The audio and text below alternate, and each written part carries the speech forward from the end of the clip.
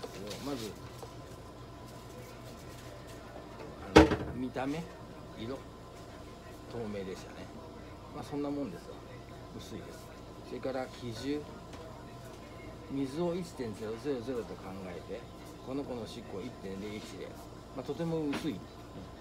これ例えば犬猫だったらちょっと低すぎる。でもこの子たち割と水っぽいのが出てきます。あと6.0まあこれはですね正直正常値ないんですよ。だから7ぐらいが正常だと思います。若干酸性によってるかもしれない。あんまり酸性によりすぎると結晶ができやすい。あんまりアルカリによりすぎてもまた結晶ができやすいです。酸性だとカルシウム系の結晶ができやすい。でも出てませんですねそういうのはね。ないです。それからあとは、うん、とブドウと糖尿病など出てきますけど出てこないですね。それからタンパク腎臓悪いと出てきますけど出てません。それからケトン。これは脂質代謝異常があると。すごい体調が悪いと出てきますけどないですね。あとビリルビン。これは肝臓が悪いと出てきますけどないと。あと鮮血反応。膀胱炎とか尿道炎とか出血とかあったりすると出ますけどないと。でさっきの審査では、まあ、RBC 赤血球ないし白血球ないし少し細胞成分がたまにまあ5つぐらい固まってるのが20視野もっとだね50視野に1個ぐらい出てました。ねだここは許容範囲だと思います。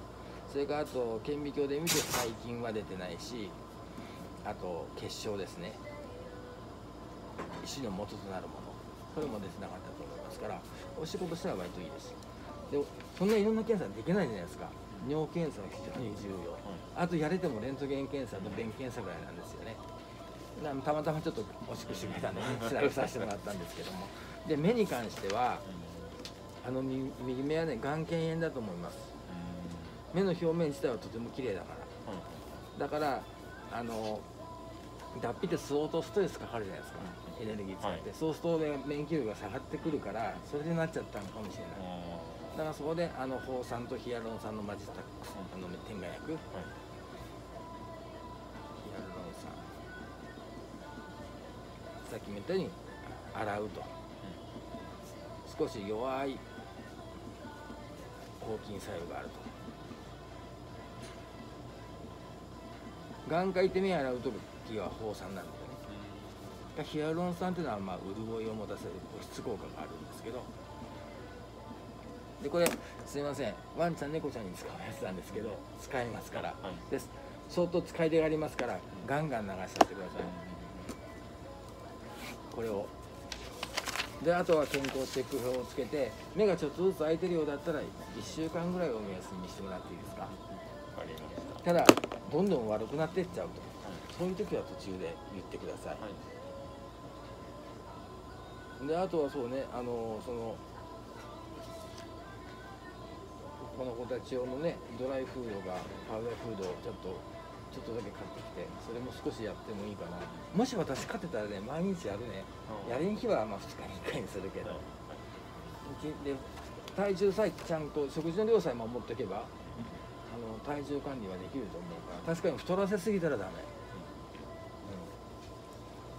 だと思いますけどね。何かここまでのご質問あります？大丈夫。ですね。はい。はいわかりました。それとあとですねじゃあしつけの話をちょろっと上からして終わります